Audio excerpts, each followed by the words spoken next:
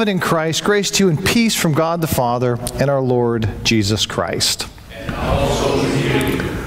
You know, today's message deals with a subject that is very important for all of us. Within God's words this morning, we find a wonderful list of confessions. Confessions that we would be wise to pay attention to. Now, we've all heard the expression, confession is good for the soul. And the reality is that most of us confess to something or other many times a year. But as we study this list of revelations within our text, it's important to understand them from the perspective of the great man whom they came from John the Baptizer. And I think we can all agree that John was certainly one who we would want to be paying attention to and be wise enough to listen to. And as we study today, one thing should become evident, and that is what a significant contribution we would make to ourselves, to our God, as well as to society if we would dare make an honest self evaluation from time to time.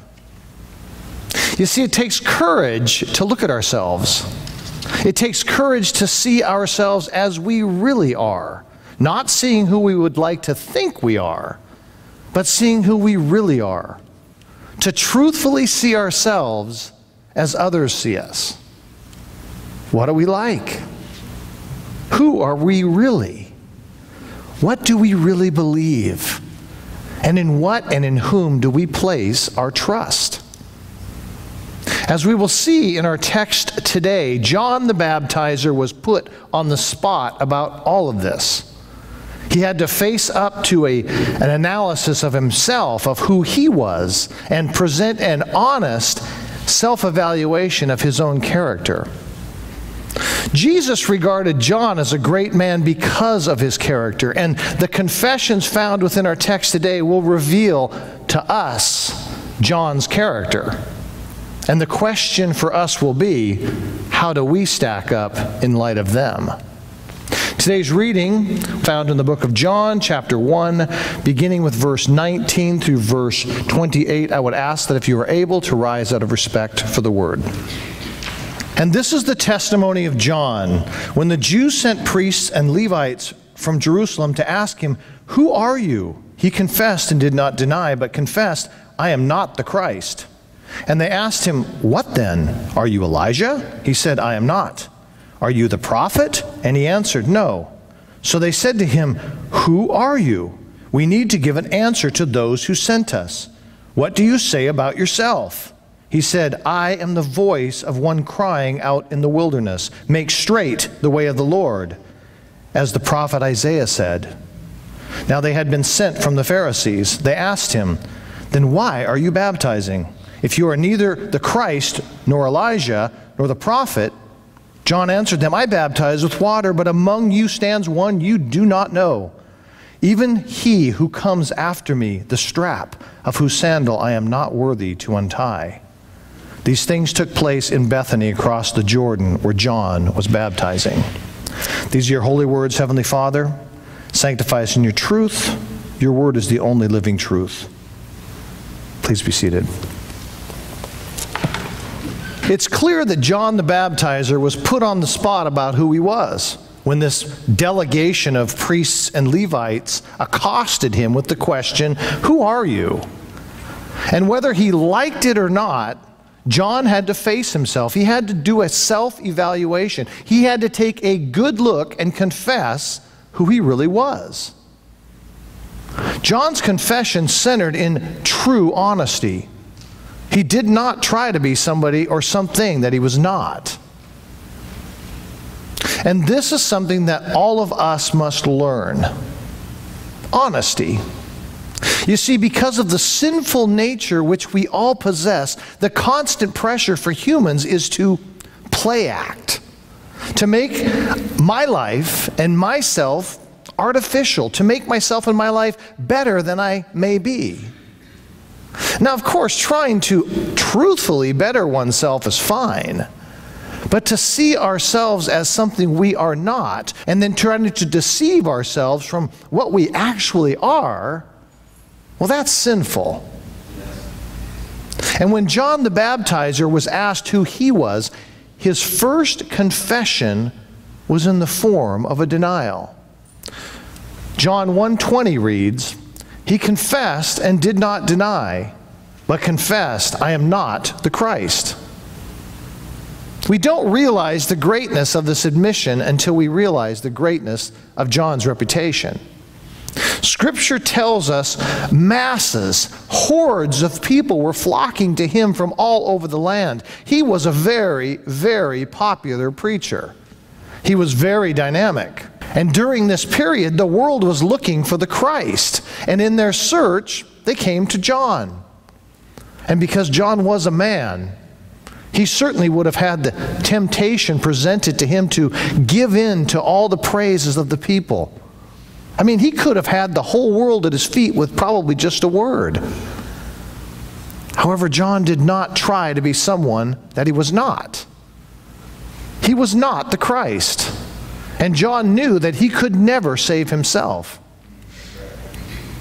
You see, there's a direct correlation between saying, I am not the Christ, and saying, but I am a sinner.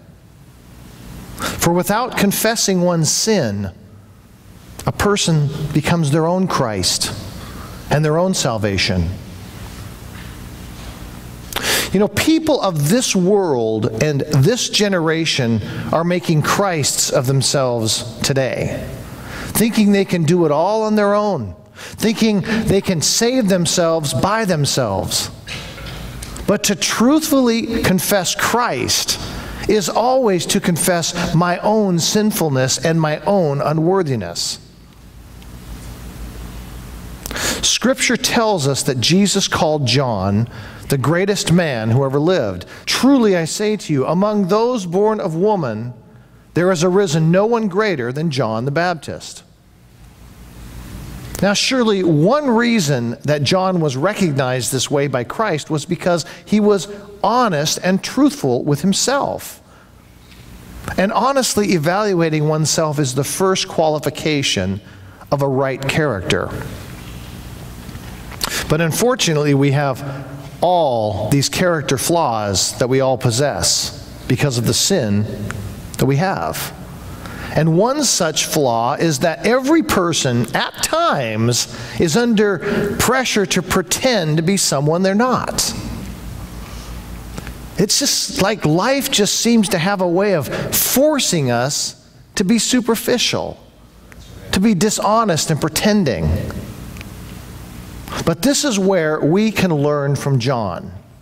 He claimed no honors, he claimed no status, he claimed no fame, fortune, or prestige whatsoever.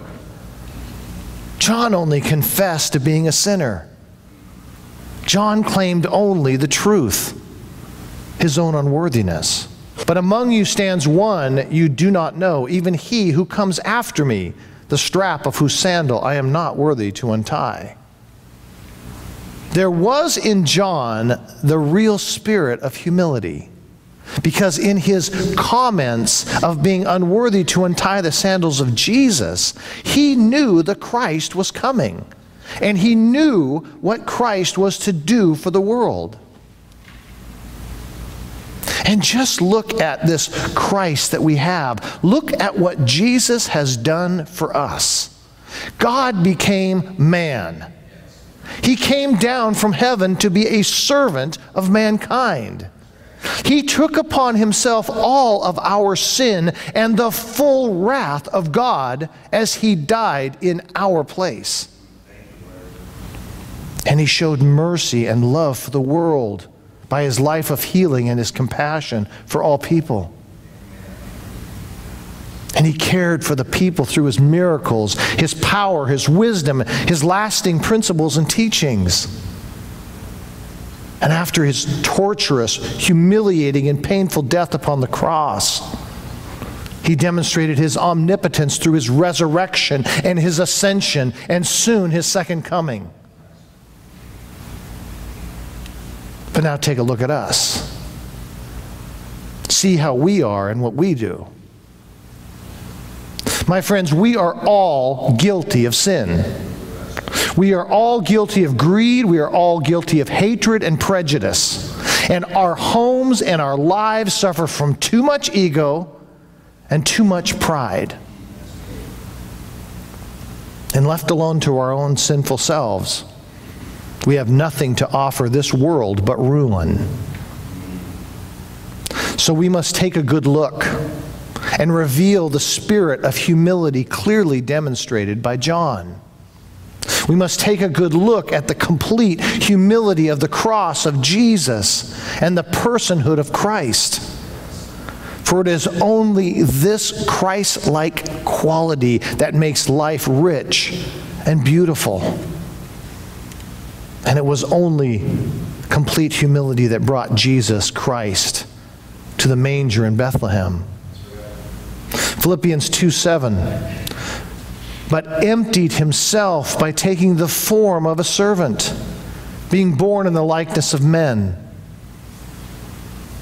And friends, it is this humility that is the crying need of an overinflated humanity. Today's world lives by the principle I am better than you.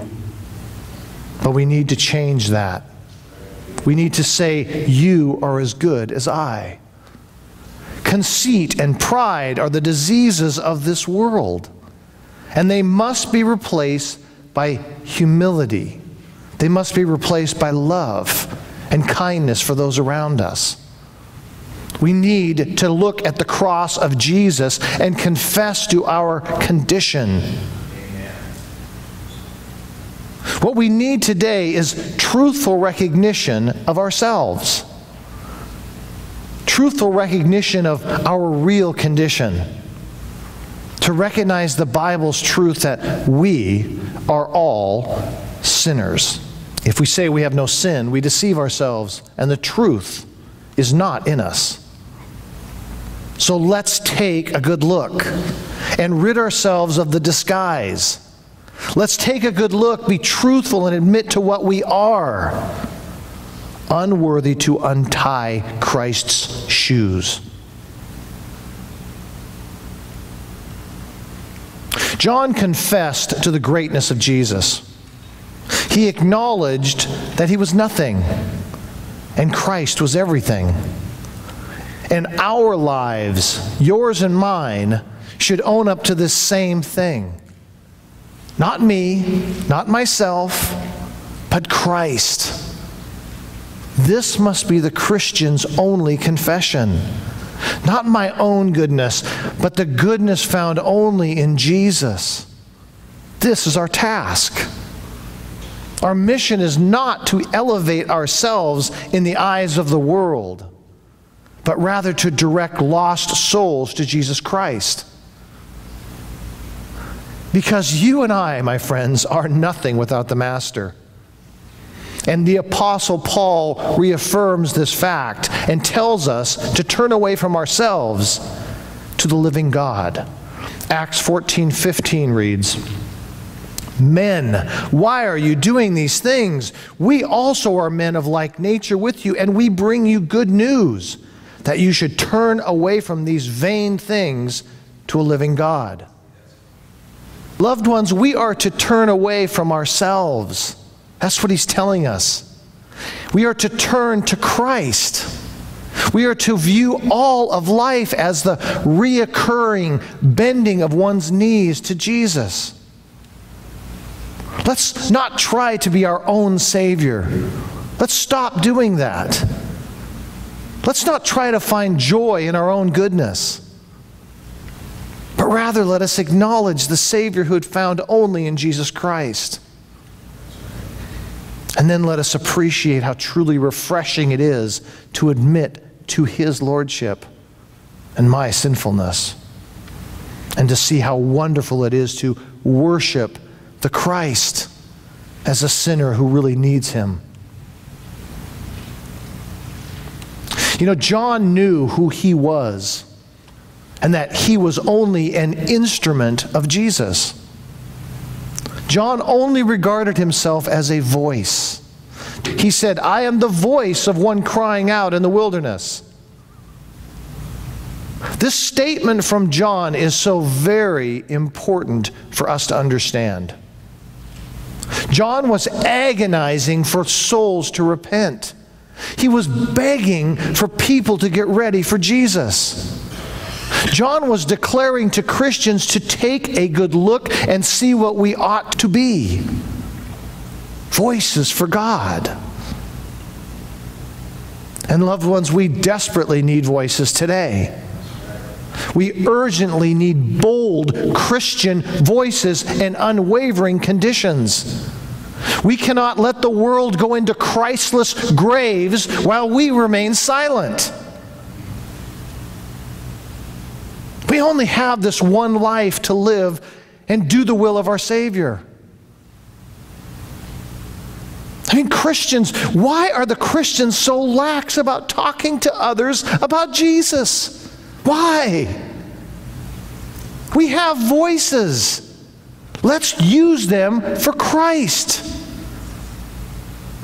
I mean, if Christians won't speak up and share the good news of salvation and eternal life, who will?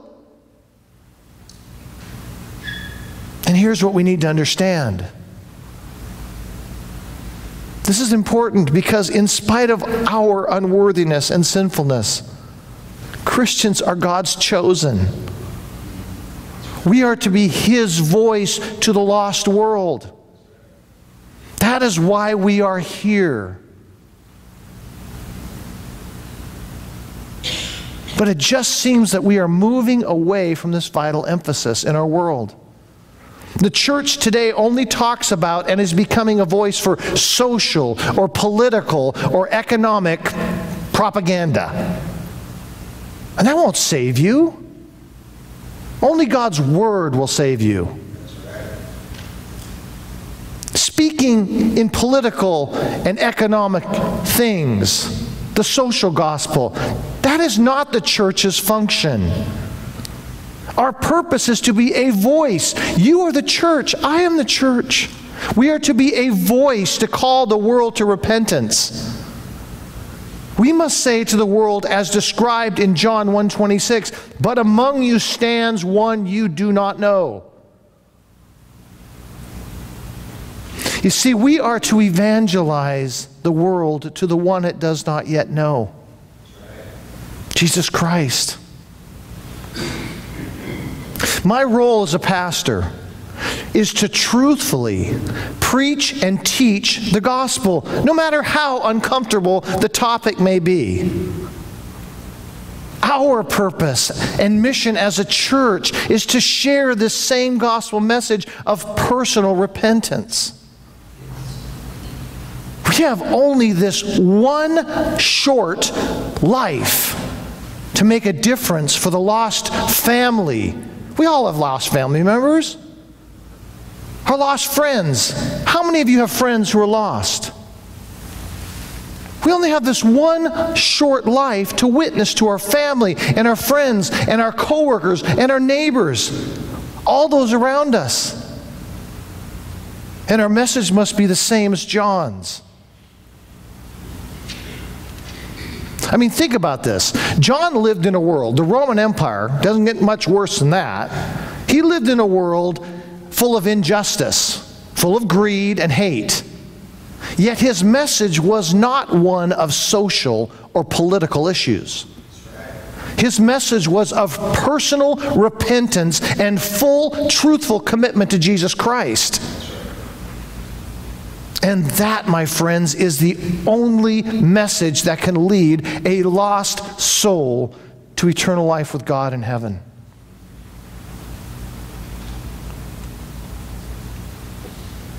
As a voice for Christ, we can learn from John. Because John directed those who came looking to him away from himself. He directed them away to the only one that mattered Jesus.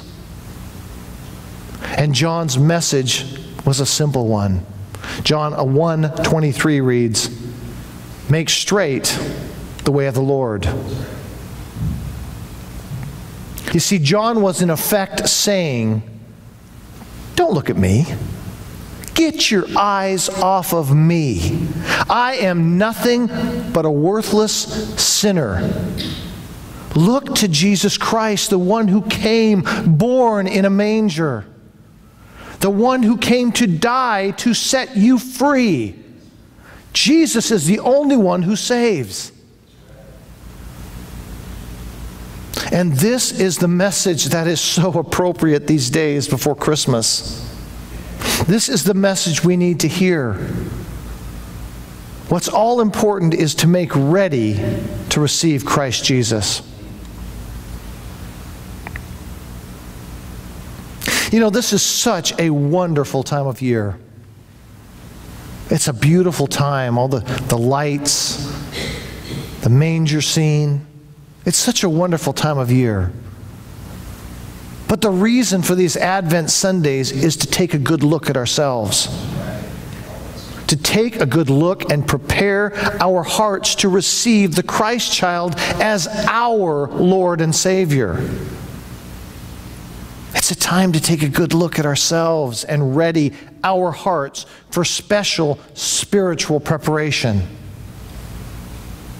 But the world in which we live is ready for what? Christmas? Hardly. Preparations for Christmas are not physical, they're spiritual. And it is our privilege as Christians, now more than ever, to declare the greatness of Jesus Christ by the power of God's Word to the world. but emulating the exceptional character of John the Baptizer means we too must declare our humility. He must increase, but I must decrease. Loved ones, it is time for all Christians to admit, I am nothing. He is everything. Our entire lives should be spent joyfully proclaiming to the lost soul the preeminence of God's Son. You know, this is a very particularly unique time in which we live. One that desperately needs this biblical view and confession. Because in our world today, people inflate and elevate themselves more than ever. We post exaggerated depictions on Facebook. We take selfies to show the world how great we are, and we put pictures online and social media to brag about all the things we possess. Today, self is on the throne. And all of society are making paths straight for themselves. Humanism is very much upon us. The position of most people is that they can take care of themselves, thank you. But, loved ones, we need a return to the Lordship of Jesus. We need a return to the Lordship of Jesus Christ in order to stop the current path of this chaotic world in which we live. So I plead with you never think of Christmas without Christ, and never think of life apart from His Lordship. We will soon be closing the door on another Advent season and opening the door to yet another Christmas. And our lives are rapidly passing by. The most important thing we must do is to take a good look at ourselves, then take a long gazing look upon the cross of Jesus Christ. Are you prepared to receive Jesus? Are you preparing yourself to kneel beside the stable at his manger bed? Or are you just too busy with yourself and the things of this world? Today, God's Word has shown us the ideal example of a great man, one whom Jesus called greater than all. John has set the example for us to follow, and it's a simple one. He took the spotlight from himself and focused it upon Christ. And loved ones living for Jesus will always be the road to true happiness and peace of mind. So, this Advent season, take a good look. Take a good look at the Christ child laying in the manger and uphold this Jesus as Lord and Savior of our lives.